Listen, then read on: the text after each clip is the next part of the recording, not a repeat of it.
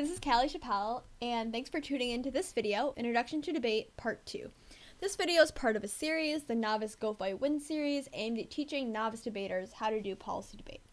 So, a little about me. My, again, my name is Callie Chappelle, and I'm a former debater for the University of Michigan. I debated for Traverse City Central High School, and I currently coach for Gulliver Prep. I am a 2N, 1A, and you'll learn very soon what that means. And a fun fact about me is that I like to call okay, so I think the plural of novices of novice is novices.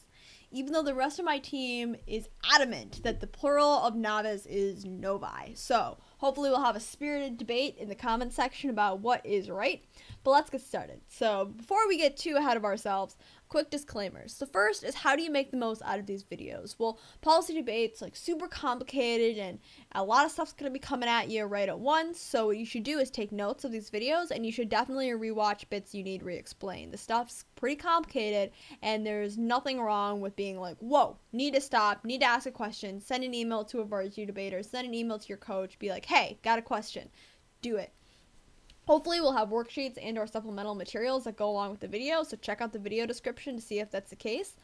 Next, you don't need to memorize it all. There's going to be a bunch of info thrown at you, especially after this, uh, right after this initial set of videos. But what you should do is at least be familiar with everything in the video because it's a building process. Also, your coach may like things different, or you may like to debate in different style. Totally okay. This is just a starting point, not an end point.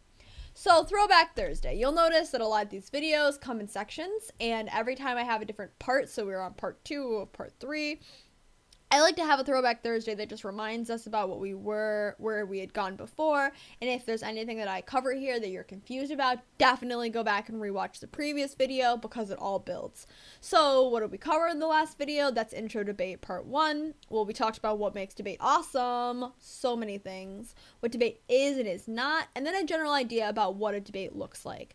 Um, so you we introduce there are things that the AF and NEG must prove for each respective side to win, and that there are particular times that different debaters will speak in an organized fashion. Remember that we're talking about policy debate here, so if you are a public forum, a Lincoln Douglas, or a Parli Kid, yeah, we'd love to have you, but these videos may not be the most helpful. So, here's a question to you. Can you brainstorm ways that the US should substantially or could substantially curtail its domestic surveillance? Well, if you're anything like me, probably not. You know, I don't know that much about domestic surveillance off the top of my head, and I'm guessing that you probably don't either. But luckily, in, in policy debate, you don't have to know that much about it right starting out. That's why we use evidence. So, evidence in debate is super cool because if you don't know some that much about something, if you're not an expert, and trust me, none of us are, you can bring your notes up in the form of evidence with you in a debate. And you'll quickly know that in debate we love to come up with fancy names for things. We call individual pieces of evidence cards, and then when we have large documents with large amounts of evidence all combined, we call those files.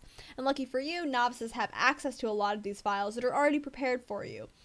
So, why do we call them cards? Well, cards actually come from when debaters would photocopy books and glue them onto pieces of cardstock, and they'd store these cards, literal cards, in expanding file folders and tote them around at debate tournaments in huge tubs. Now, we debate paperless, so that means that we debate with our evidence off computer, not off of a piece of cardstock. But the transition actually has only happened over the past few years. Like in my day, when I started debating, when I was a novice in, oh god, I don't know, in 2010, 2010, 2009, 2010 a lot of people still debated with paper. They it's only been in the past couple years that we've really transitioned into uh, into paperless debate. And what's made paperless debate so awesome is that we have some new technology that allows it to be much easier. The first is Dropbox. So, Dropbox is an online file sharing program, and what it does is it adds a folder to your computer, just like on My Documents or My Photos folder.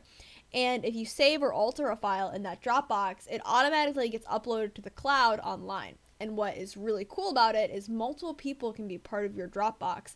And when you change a folder in your Dropbox, it changes a folder in everyone else's computer that's shared with that same Dropbox folder. So, with great response with great responsibility also comes more responsibility.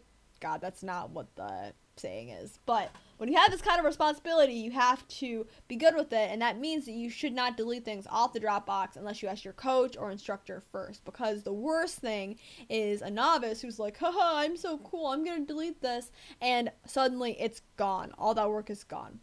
The second thing that I want to introduce you to is Verbatim. So, Verbatim is a file formatting software in Microsoft Word that makes all debate files and cards pretty uniform. So, the most recent iteration of Verbatim, as of August 2015, when I'm recording this, is Verbatim 5, and you can download it by Googling Debate Verbatim. It's the first thing that comes up, it's super easy.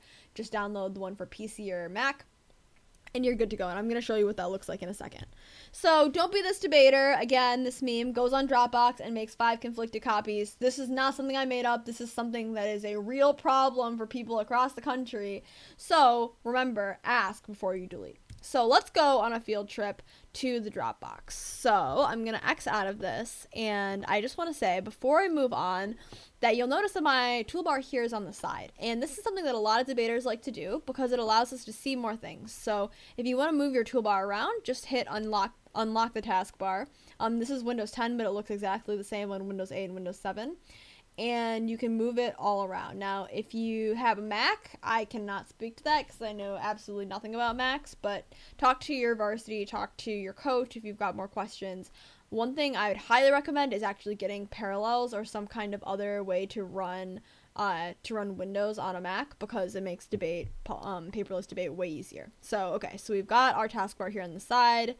It is locked and now I'm gonna find my Dropbox. So here, this is just my uh, user folder on my computer, and you'll see that Dropbox is a folder here, just like documents, pictures, videos, etc. So I'm gonna click on Dropbox, and you'll see that I've got a bunch of other stuff in here, um, like my school stuff. But the one that I want to go into is Gulliver. Uh, actually, is none of these things. So I'm actually gonna go over to Callie's Dropbox, okay? And this is just a quick ask this is a quick access bar that's in Windows 10, but any other Windows platform should have this. And what you can do that makes things super easy is when I have a folder, regardless of whether it's my Dropbox or not, I can just drag it over here and it goes onto the quick access bar. So I'm going to move this because I don't want it there. But instead of having to go through all my folders, I can just quickly access it here on the side. That's a big time saver. So here's my Dropbox, and you'll notice that I've got a bunch of folders. AFs, case negs, counterplans, DAs, critiques, T, theory, etc.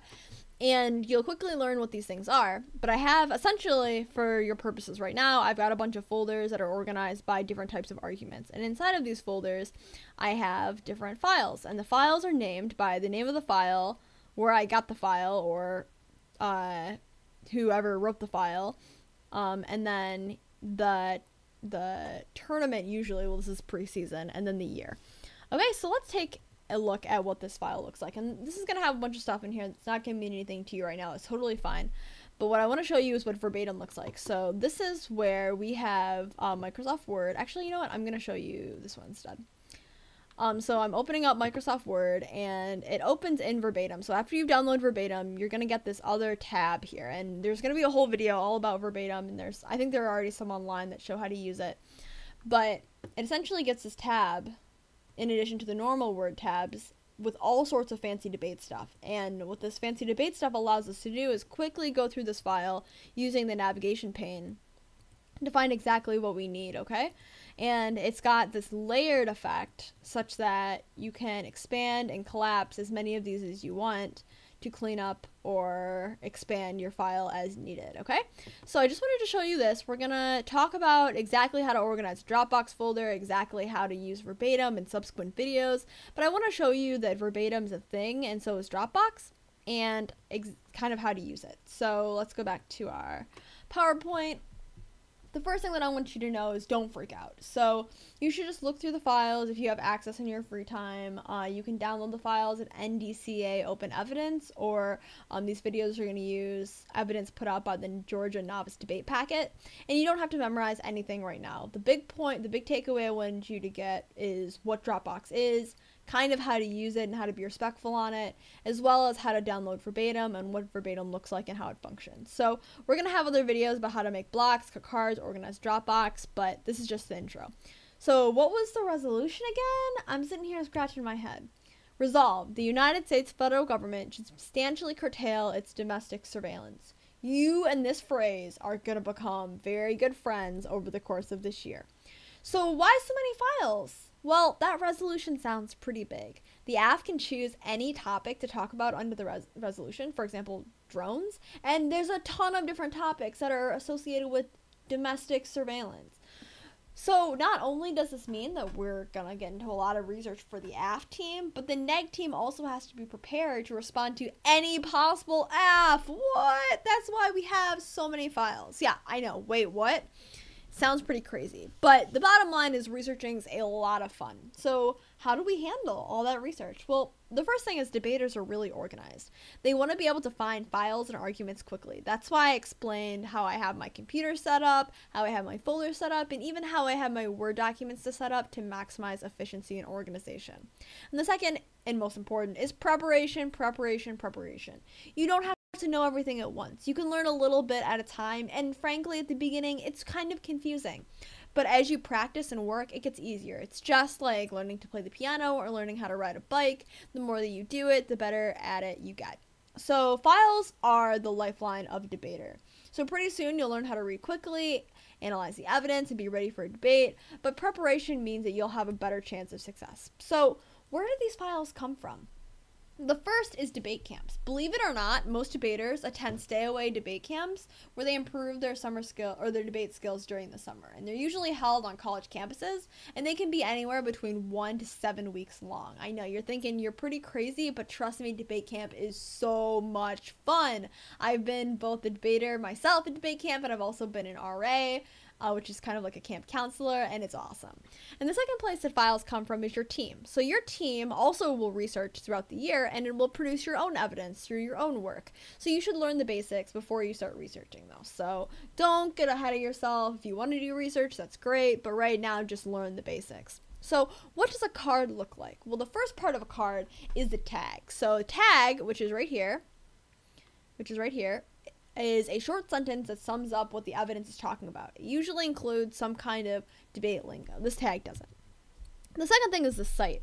And this is where you say where you found the evidence and this is where you say where you found the evidence and some information about it. But in an actual debate, you'll only say the author and the date. So here you'd only say Donahue 15. You wouldn't say Laura K. Donahue, Associate Professor of Law, blah, blah, blah, blah, blah. You just say Donahue 15 after reading the tag and then go on to read the rest of the evidence. Um, so one thing that you should know is typically you just cite the year when you say it out loud. You always write the full citation, the full year here, and the full like month, day, year. Uh, but if you're talking about some types of evidence, like uniqueness evidence in the politics DA, don't worry, you'll figure out what that is.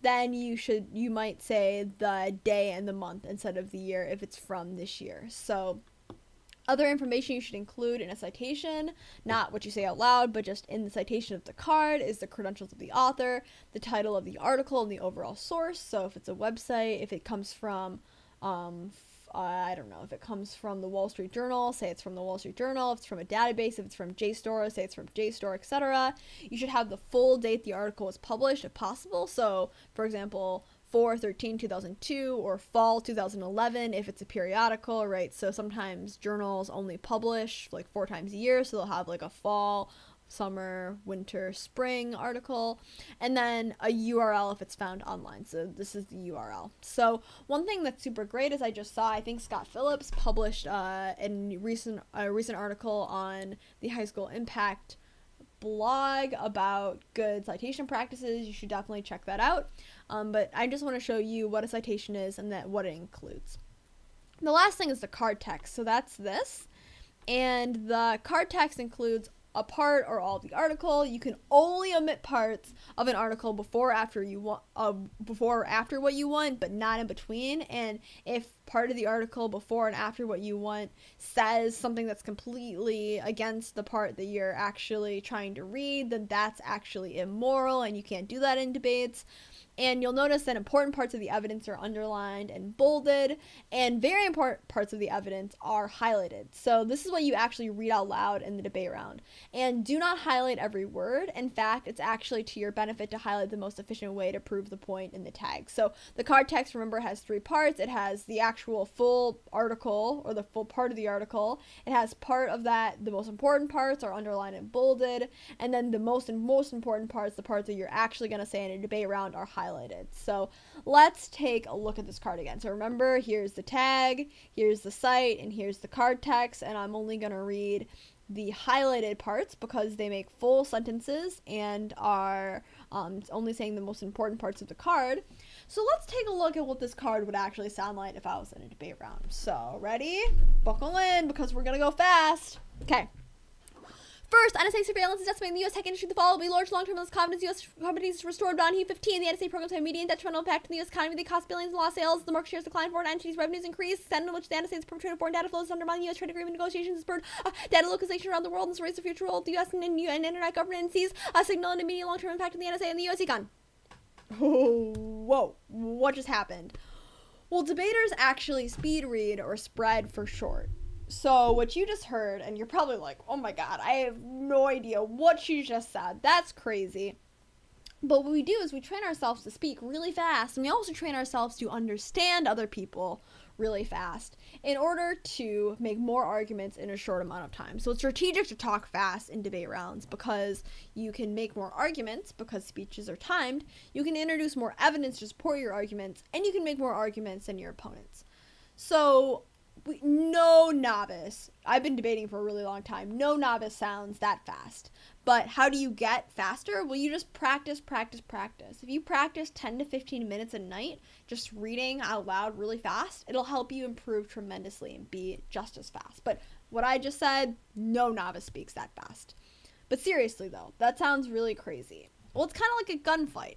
The more bullets you have, the better chance you have of winning. So, then the bullets are the are the evidence. So if you have more evidence, the better chance you have of winning any given debate. So, did you if you were in a gunfight, would you want to fight with just one bullet or would you want a machine gun with lots of bullets? Well, you think you'd want a lot of bullets in a fight and you want lots of arguments like bullets. So, and no one expects you to be that fast right now. It takes a lot of practice. And in novice debates, they really don't speak that fast. No, they probably speak around conversational speed. But you can always ask the other team for their evidence and they'll have they'll let you look at it if you're confused and trust me you're gonna be fine. I'm throwing a lot of stuff at you because I believe that you're smart and will pick this up really fast. But if you feel yourself hyperventilating, go find a bag, but also stay tuned because we'll keep you super updated. So, what should you have learned from this video? The first is debate is different and awesome, probably from what you were expecting. Second is that we have a specific topic that we're supposed to talk about. That is surveillance. Uh, that there's an affirmative team and a negative team, and that we can't just talk whenever we feel like it. There's speaker positions at time limits, and that was covered in the previous video. The fifth is that you have to argue both sides of the topic, and the debaters are hyper organized and use lots of evidence. You can also bring and use your notes and evidence during the debate, even while speaking, and that there are certain things you have to do and prove to win a debate. The two biggest things, though, are the tournaments are fun and the debaters are really cool. And don't freak out. You should be excited about how much there is to learn and discover, and I will be with you every step of the way. So thanks for tuning into this video, and I hope you tune into the next one, which is Q&A about debate.